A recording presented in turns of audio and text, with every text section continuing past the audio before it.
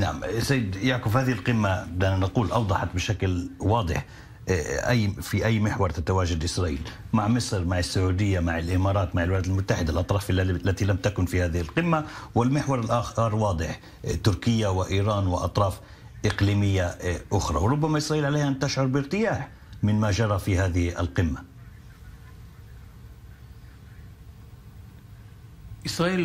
إسرائيل لا تشعر بارتياح لأن إسرائيل تريد في نهاية المطاف مفاوضات جدية مع الفلسطينيين. لذلك فإن التدخل الخارجي والأجنبي من قبل الفارسيين والأتراك يضر هذه المفاوضات لذلك ليس من مصلحة دولة إسرائيل ولا تشعر دولة إسرائيل بارتياح مع هذا الأمر.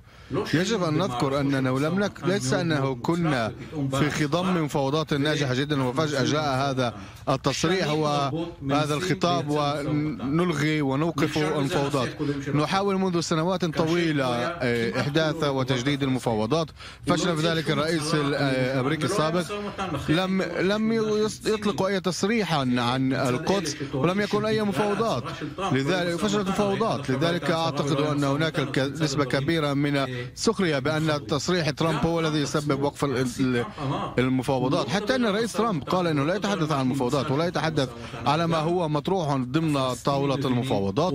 الفلسطينيون يقولون وينفذون بحسب ويتصرفون بحسب بحسب آه، المعادلة أن القدس الغربية غرب القدس سيكون عاصمة لدولة إسرائيل. كل ما فعله ترامب أنه حول هذا التصريح آه، حول هذا الأمر إلى تصريح آه، فعلي.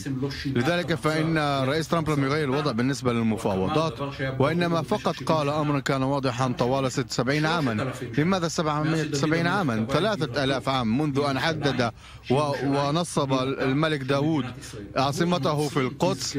تذكروا أنه بالنسبة لل... لل... للمسيحيين. يسوع المسيح صار في شوارع القدس لأنها كانت عاصمة لإسرائيل. لذلك فإن للمسيحيين ولليهود أيضا وحتى للمسلمين ومن يقرأ القرآن يفهم أن هذه الدولة تتبع لليهود. يمكن أقول لك حتى أنه في منشورات الوقف الفلسطيني منذ سنة من سنوات الثلاثين مكتوب أنه في الجبل الهيكل كان هناك الهيكل اليهودي. في لذلك هذا غير صحيح أن القول أن القدس ليست عاصمة إسرائيل هذا محاولة تشويه التاريخ ولن يساعد الأتراك ولا الفارسيين أي شيء. كل عربي يفهم أن. أن القدس عاصمة إسرائيل. أين تمر الحدود؟ كما قال ترامب هذا منوط بالمفاوضات.